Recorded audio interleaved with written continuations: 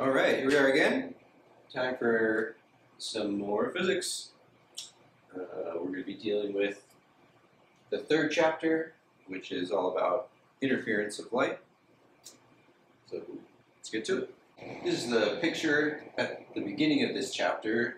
Well, these are bubbles, obviously, and you've probably seen bubbles, and you've seen these very interesting color patterns and formations that happen. And it turns out these formations really only possible with, well, they're an outcome of light interfering, or interference of light. Um, the specific example of what we call thin films, which we'll talk about a little bit later in this chapter. Should point out that in the last chapter, and mostly in the chapter before that, we thought about light as like a ray, like it's like this line that's just beaming along.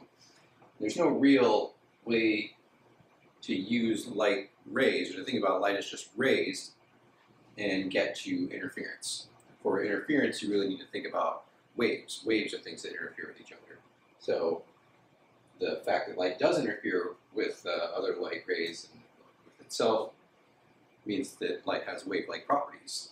So uh, we can't just use geometry and trigonometry to deal with rays like we did last chapter. And we call this sort of stuff to dealing with interference of light wave optics or uh, physical optics. Since we are dealing with waves again, I thought maybe we'd just do a quick refresher on the basics of waves. So here we have a uh, specifically a transverse wave where the amplitude of this wave is perpendicular up and down this way to the direction of the motion of the wave along this way. And just point out, you know, the amplitude is the distance from the equilibrium of the wave to its crest, or from that equilibrium to the trough.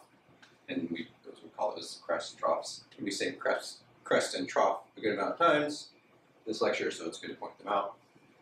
Another very important property of a wave is its wavelength. It's the distance that it takes for the wave to repeat itself, is one way of saying it. Or it's the distance from crest to crest, one crest to the next, one trough to the next, one point to that same point again.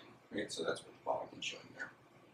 Some other basic stuff about waves. We don't really need this information. I just figured since we're refreshing, reminder that waves, another way to specify waves or other basic property of waves is the frequency which is inverse of the period, that stuff, and the speed is right related to the frequency of the wave.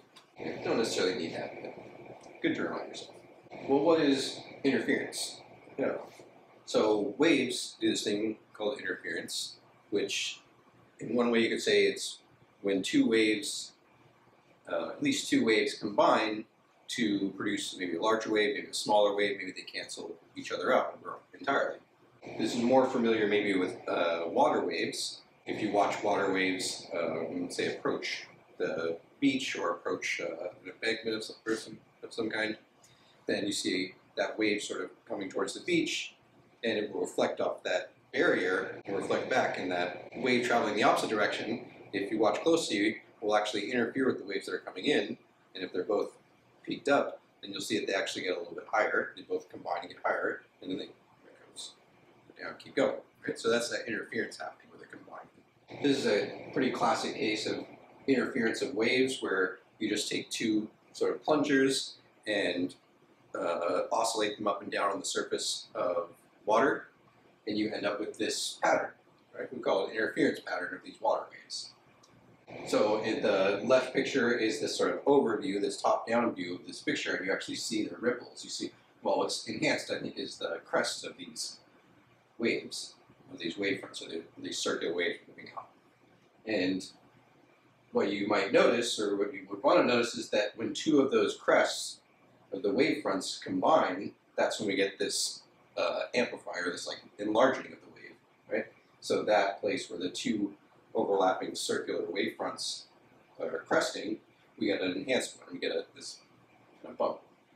Versus the darker spots are sort of where the trough is in these waves. So when two of those troughs overlap, you get this sort of down spot.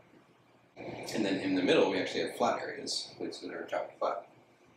When you're talking about interference of waves, there's sort of two extremes, and then everything in between, but a lot of times we think about these extremes, and it's helpful, where you think about constructive interference, where the two waves that are coming together are combined to create a larger wave, and not just a larger crest, that's actually a larger trough too, right? Goes, the, the amplitude is enlarged.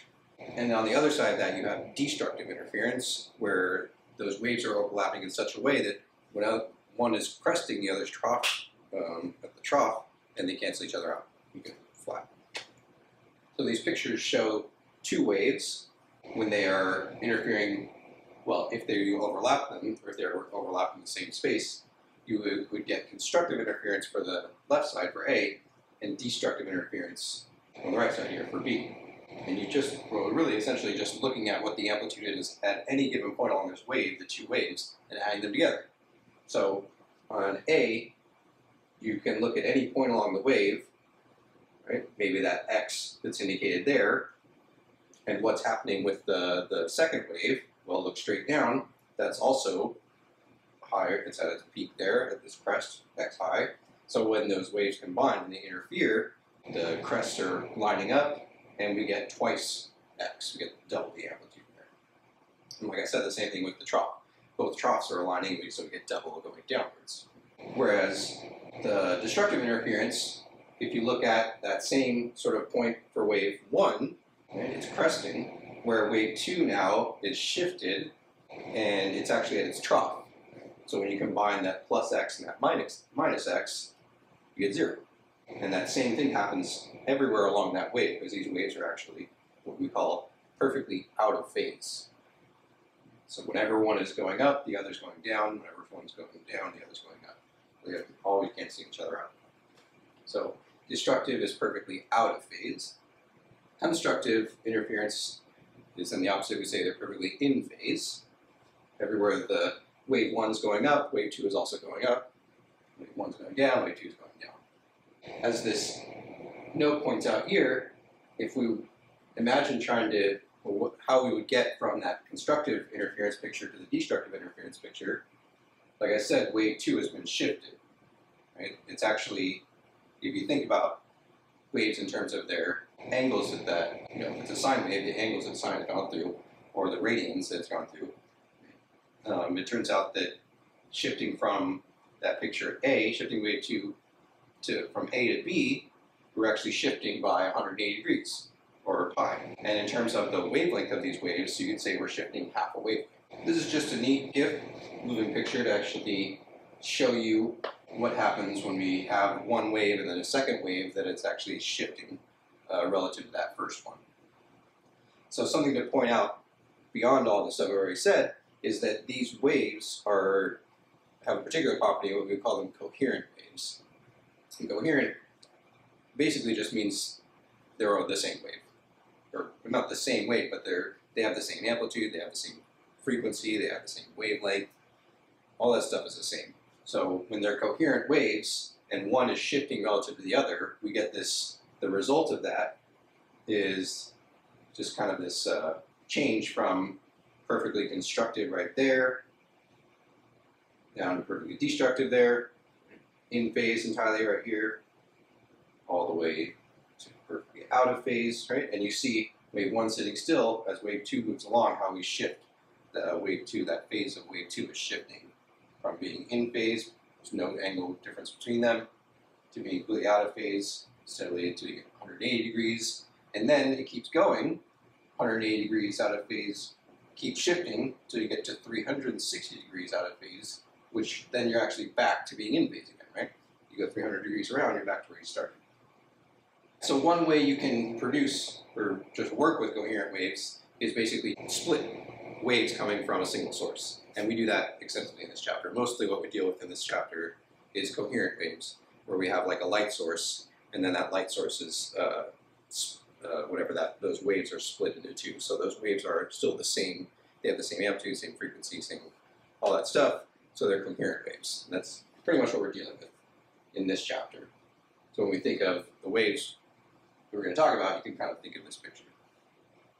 When you do talk about interference, especially interference of light and later on interference of other things, can't really talk about that without talking about this famous double slit experiment, Young's double slit experiment, where you take uh, light, the diagram shows monochromatic light, but Young was actually doing his experiment with sunlight, and essentially just had a very small hole where sunlight could enter into this uh, room, and then past that, the, there was another block, but those that block had two very small holes too. So you go from all this light, the same light coming in, narrow it down, you get it to come through this one little spot. So then it starts pushing out again, and then it goes through the now these two slots, so these two holes, and now you have the same wave. You have coherent light, coherent waves emanating from these two different holes.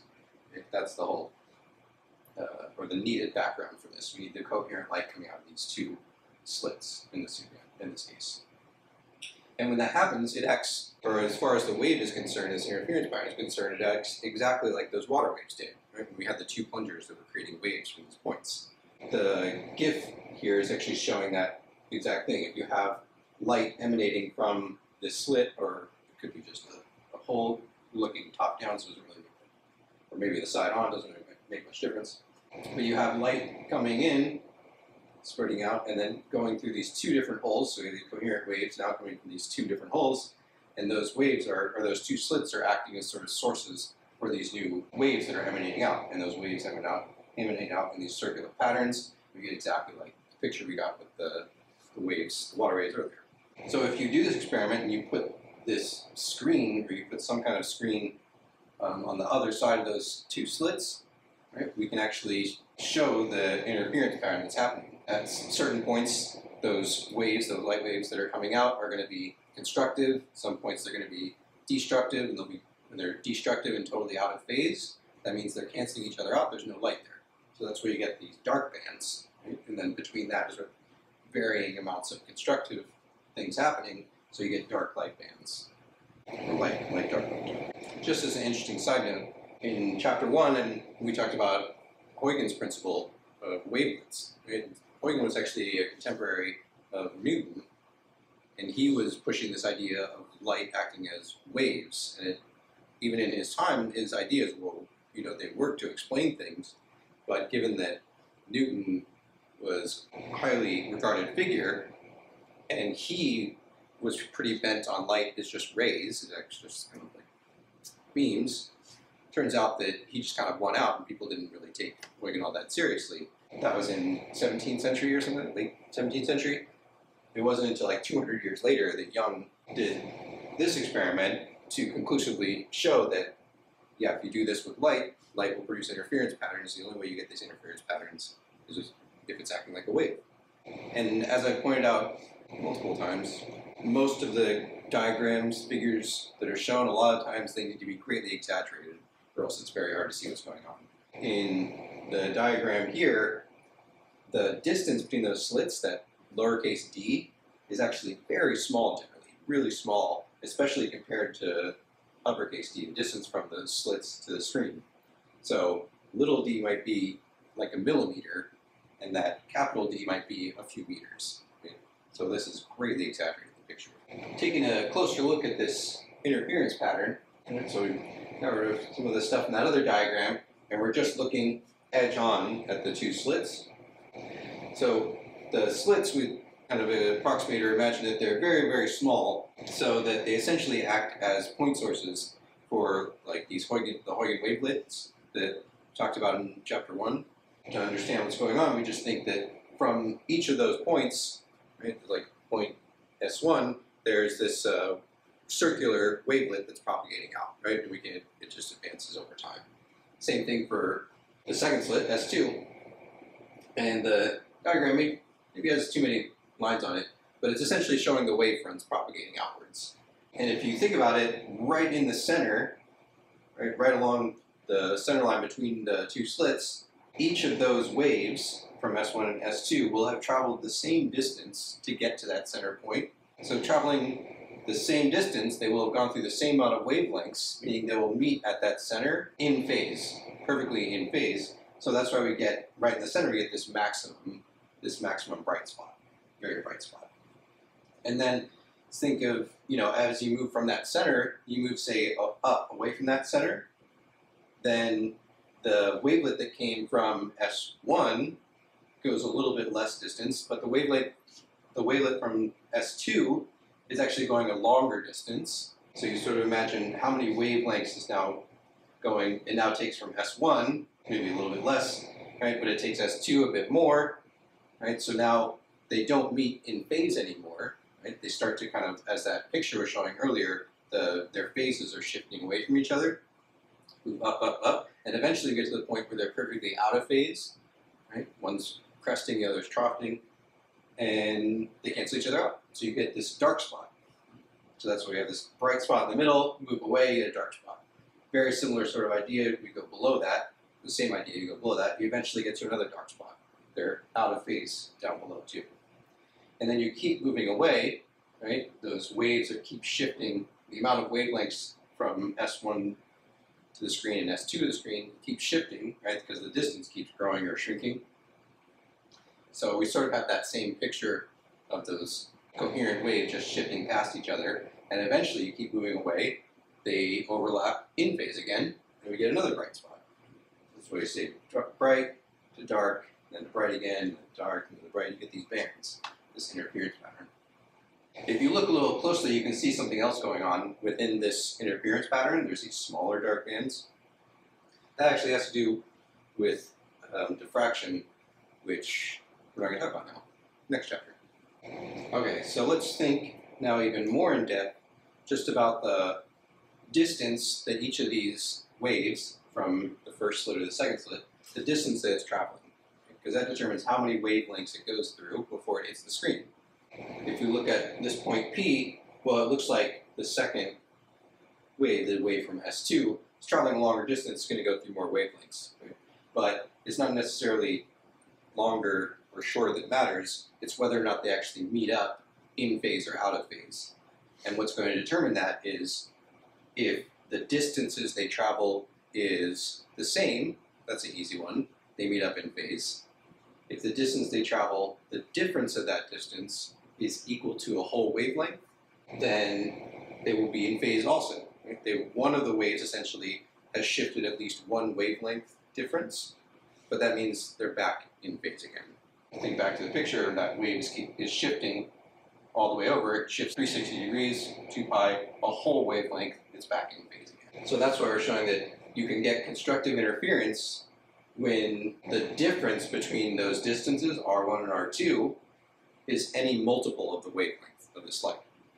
Remember, it's coherent light. It's the same wavelength of each light here. Right? It's about two wavelengths. So the alternative to that, or the other extreme of that, remember if you shift that second wave, once you've shifted it half a wavelength, or 180 degrees, pi, however you want to think about it, once it goes half a wavelength off, that's when the one was cresting and one was troughing. They're totally out of phase, get deconstructive interference.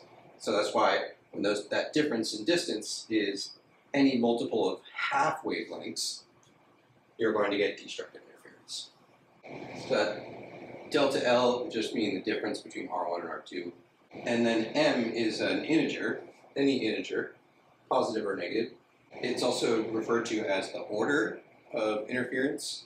So think about, you know, starting at the center, they're both travel the same distance, they meet in phase, bright spot.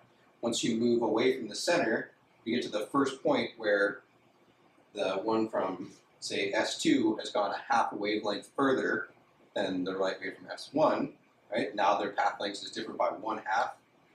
So they're going to be deconstructive, it's going to be dark, and that's the first order deconstructive interference. So M just gives you the order, or sort of almost like the band, which band you're talking about. So eventually we want to be able to say something about where we're going to see the bright spots and the dark spots. Like, how can we describe that interference pattern that we would expect to see given the wavelength of light, given how far apart the slits are, that's the lowercase d, and given the distance from the slits to the screen that the light being, is falling on, it's that capital.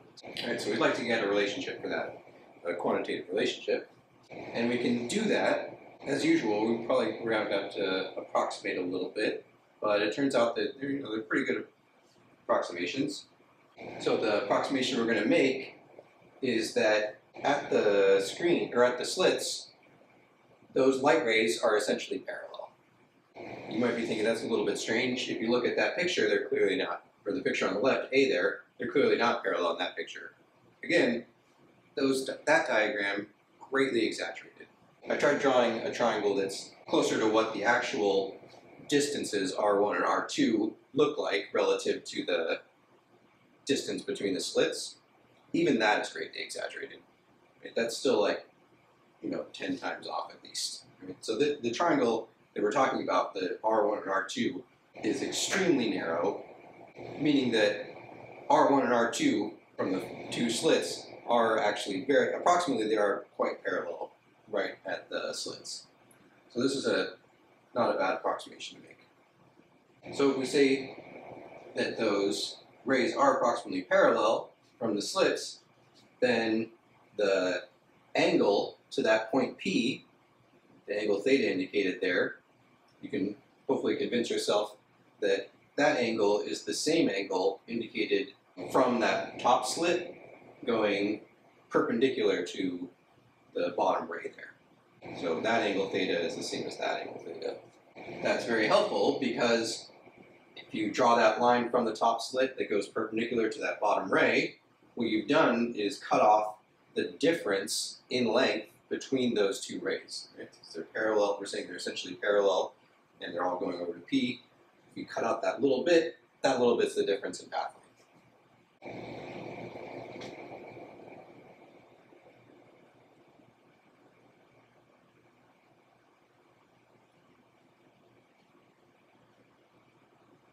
Right, and that's useful because now these little very and now if we use just a little bit of trigonometry, we can say that the sine of that angle is going to be equal to the difference in path length, delta L, divided by D. D is the hypotenuse of that triangle. Delta L divided by D, sine of that angle theta. Or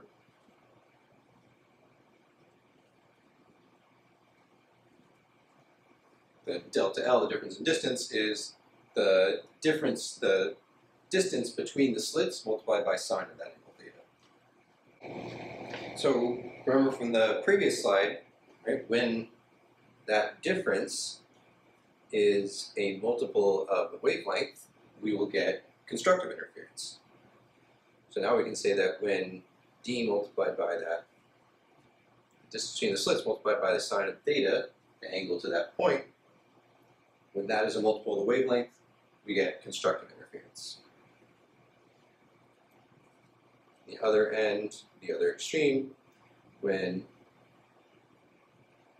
that difference is a multiple of half a wavelength, we get destructive interference.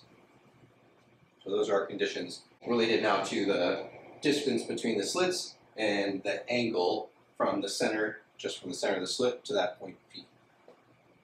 Yeah, and there you go. You know, maybe written a little bit clearer, a little bit more detail, indicating that m is an integer, can be all these things. Um, there's an, another way, maybe maybe a more compact way of saying this is that when that d sine theta is an odd multiple of half a wavelength, you get destructive, and it's an even multiple, you get constructive. Okay, but what about, say, figuring out the distance from the center of the screen, that point C indicated there, up to where a constructive interference is going to be, right? Where the where a bright spot's going to be. How can we come up with a equation for that for that distance y when it's a constructive?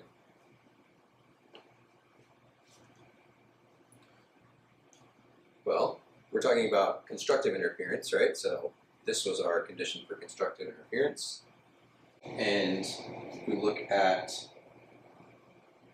just that triangle right from the center of little d to c up to p, then we have this sort of triangle and tangent then of that angle, theta, is going to be equal to y over capital D.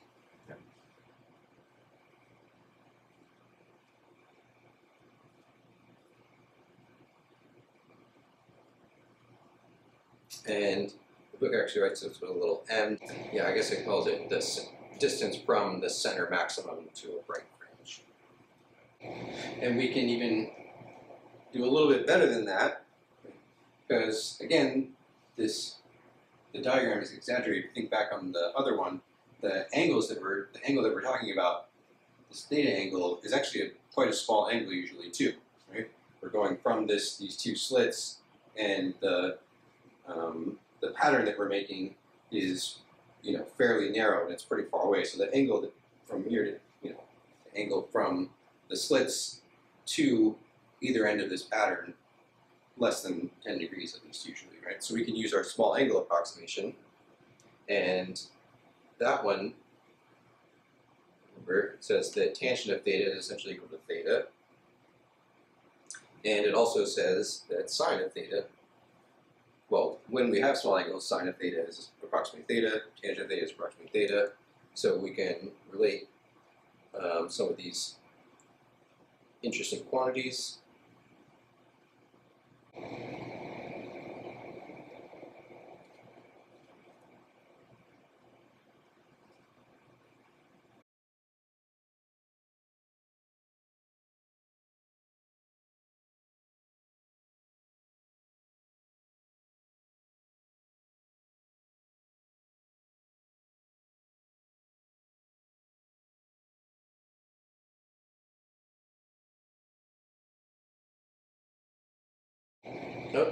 just realized I didn't do that replacement correctly, right? That's the m order of the interference multiplied by the wavelength. So then if we solve for y, m, that distance from the center of the center bright spot, bright maximum, out to the center of the mth uh, fringe, you're going to get which is good. It's all in terms of things that we probably know. The wavelength of the light, the distance from the screen, the slits to the screen, and the distance between the slits. And then m is just the fringe that you're talking about. And so if it's the first bright fringe away from the center, m is 1, and we could calculate the distance between the center and that bright fringe. You can get a very similar relationship or go through a very similar process essentially for deconstructive for finding the distance to the dark bands instead of this m lambda we would just use the deconstructive condition where delta L is one half m times the wavelength. Yeah. And just briefly to point out that we can compare or we can kind of think about one fringe relative to the other, like the angle that it makes from the center of the slits. Right, we've been doing that already. That's kind of been our theta that we're talking about. And just as you might expect, the intensity of a wave of uh, any wave, light wave too, will fall off as you get further and further from the source. And so those slits are acting like our sources. And as you get further and further away from the center, the intensity of those waves is falling off. So what that means practically is that the light is getting dimmer and dimmer and dimmer. And as that angle increases, you're sort of going to get, it's going to be harder and harder to see these uh, interference patterns. There's also another factor that impedes how far out this pattern will go. We'll actually look at that in just a second. But first, do this example. So suppose you pass light from a helium neon laser through two slits, where the slit distance, little lowercase d, is 0.01 millimeters, right? Tiny difference between the slits. And find that the third bright line on your screen is formed at an angle of 10.95 degrees relative to the incident beam. So that angle theta. What is the wavelength of the light?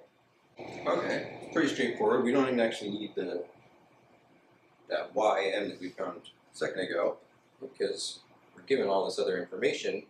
We can just go back to our first relation between the angle, the, the slits, and for constructive interference, it's going to be equal to m theta.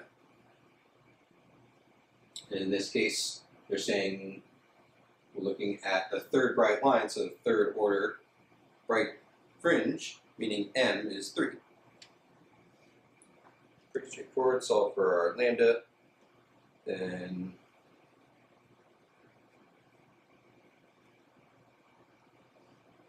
put all these values in.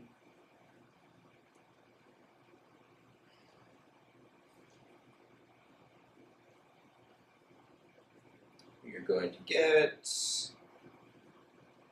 ooh six times well, six times ten to the minus four millimeters, which is six times six point three three times ten to the minus seven meters, or 633 nanometers. Look at a visible light spectrum, about that's red light, some kind of red light, which is what a helium neon laser will put out. So that's good. We got. So this example shows one useful thing about this double slit is you can use uh, known setup distances, all these distances, and uh, measuring angles in order to measure the wavelength of light of light, and not just not just visible light. Actually, you can do this with all kinds of electromagnetic waves. Just need to be able to detect them with the screen. So, like I said a minute ago, before the other example, there's something else that's inhibiting the interference pattern from just continuing going forever, beyond just the intensity of the light falling off. And that is the fact that this equation that we came up with for constructive and destructive interference has this sine theta in it, and sine theta is limited, right? It only goes between minus 1 and 1. Yeah, so at the most, sine is going to be 1, and we don't need to do this, I think, but if you put in the numbers involved in this uh, example that from the last actually example, so using all that same information and setting sine of theta equal to 1, right, that's the maximum sine is going to be, turns out you get m is a little over 15, or the telling you that the furthest fringe that's going to be created is 15 uh, bright spots away from the center. In practice, even that 15th fringe is not going to be easy to see because by that point the light is going to be kind of dim. It's not, you know, that's something you might not even see with your naked eye. But even if you were had a powerful enough laser that would put out a lot of light, then you'd probably see that. Well, all of that was talking about just the two slits, analyzing maps the two slits and the light interfering between from those slits. What about three slits, four slits, five slits, right? Any multi multi-slit interference pattern. We're going to talk about this much more because it really gets us into thinking about diffraction, which is next chapter. For now, just to point out that if we think about ray 1 and ray 2 here, as if it was just a double slit, you see the distances indicated on there. When ray 1 and ray 2 are half a wavelength, the difference in the distance is half a wavelength, right? That d sine theta there is half a wavelength. They'll be out of phase, right? So they'll cancel each other out. Think about it like that. But then you still have ray 3. So it's not as simple as just the two waves um, being constructive and destructive. It's more complicated. We'll get to that later. Right now, we're going to get to thin films, which can cause all these interesting pictures to happen, like uh, bubbles, like show at the very beginning. Bubbles is an example of thin film, and you get these cool, colorful patterns. The one on the bottom left there is just an oil slick, which you've probably seen with, with oil on the ground. and You make these rainbows. This one is, um, what is that? A layer of copper oxide formed on a piece of metallic copper. Right, that copper oxide forms a, very thin sort of layer, and you get these thin film effects. So what what is that? In a thin film, this picture sort of here is showing N2 is like that very thin layer of something. In a thin film, you have a light ray that will come in, and there'll be some reflection that happens. That's not ray one. There'll be some refraction that happens where part of that light goes into the material, and then it's reflected off the other side of that thin film, comes back out, refracts again. Right? So you have this combination of reflection and refraction happening with the same wave that is split at that interface. And the difference in path length that those reflected and refracted rays are traveling means that when they meet up again, they can be out of phase with each other. They don't, they're not necessarily constructive. Right? So the phase will change depending on how far that other that sort of second light wave traveled, and that's why you can get constructive, destructive interference happening in these thin films. So the reason that you would get you know those colors in the pictures before is basically the the thickness of that film, say the thickness of the oil slick, is just such that all the colors, except for say like red, are bouncing in such a way that they actually meet back up and those wavelengths are out of phase entirely, deconstructed, and so you don't see those colors anymore. The only one you see is the one that actually came through and was just right to be constructed. This interference that you're going to see is going to depend on obviously the thickness of that thin film, it's going to depend on the index of refraction of that film. It actually also depends on the index of refractions of the materials outside of that thin film. And when we say thin here, just like talking about diffraction briefly in chapter one, is saying that when you have this diffraction happening, it really only happens when the objects or the obstructions that you're dealing with are similar or on the order of the size of the wavelength of the light. Similar thing here, talking about thin, this this sort of thing really happens when the thickness of that layer is not not much more than a few times the wavelength. But wavelength, you know, light's wavelength of light is visible light is very small, so that means you know less than about a micrometer, a millionth of a meter. Besides all that, there's one more complication here in that when a wave reflects off of a boundary, you can get phase changes due just due to that reflection. So you probably saw this back in, I think, the first part of this uh, three-part course series when you talk about waves being with, right? Saw reflections and transmission of waves. So it turns out, depending on the speed that the wave travels in those mediums, which is indicated by the index of refraction, you might get reflections that are inverted or phase changed by 180 degrees, or you might get reflections that are not phase changed, not inverted. To illustrate this, I have this nice little GIF where if we think about a wave traveling down like a string and, and then hitting this kind of boundary where the string becomes, in this first case, the thin string becomes thicker, this is very similar actually to, or conceptually at least, to a light wave going from a lower index of refraction to a higher index of refraction, right? The light wave is traveling faster in that lower index, slower in the higher one, and so it's similar to this thin rope to the thick rope. And what happens at that boundary, you're going from lower to higher, you get a reflection, and that reflection is inverted. Inverted, or another way to say that, is it's been phase changed by 180 degrees. Whereas on this bottom picture, if you have a thicker rope that's transitioning to a thinner one, then the analogous picture with the material is just that the index of refraction is higher in that first side and then lower in the second side. And you see what actually happens if a wave travels through there, you get a reflection, but it's not inverted. There's no phase change. So depending on what that second material is, you got to keep that in mind when you're thinking of the reflection because the phase of these waves matters when we're talking about interference. It's all about their phase. Yeah, so the top picture might be like light wave going from air to glass, you get a reflection that's inverted. Light wave going from glass to air, you get a reflection not inverted. So this is a picture with materials like, say, air and glass, or maybe uh, the thin film of a soap bubble.